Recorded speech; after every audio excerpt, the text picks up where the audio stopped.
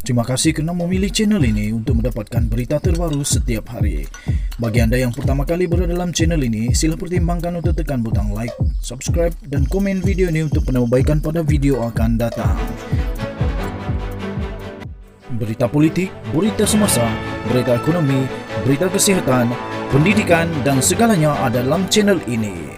Salam sejahtera Malaysia, berita terkini daripada malaysiakini.com. Bertajuk Saya Sudah Pulih, Cuma Belum Sepenuhnya. Dikemas kini dengan ucapan Mahathir.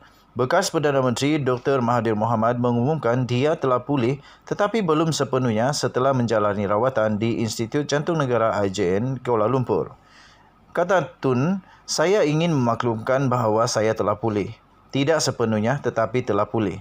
Beberapa hari dan tiap-tiap hari saya balik ke rumah daripada hospital. Saya balik daripada pagi sampai petang. Lepas itu saya balik ke hospital kerana masih ada prosedur yang mereka ingin teruskan. Katanya dalam satu rakaman pertama yang disiarkan melalui YouTube selepas keluar daripada hospital. Mahathir menjangkakan dia akan pulih sepenuhnya tidak lama lagi.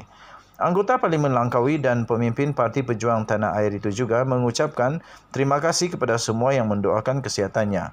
Sementara itu, pejabatnya memaklumkan mengumumkan bahawa Mahathir dibenarkan pulang ke rumah sejak Rabu yang lalu.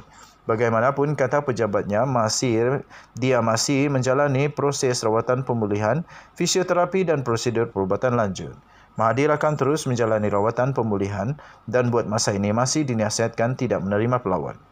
Sementara itu, pejabatnya juga berkata, isteri Mahathir Dr. Siti Hasma Muhammad Ali menyampaikan ucapan terima kasih atas doa, ucapan selamat, kiriman bunga dan kado ucapan daripada orang ramai.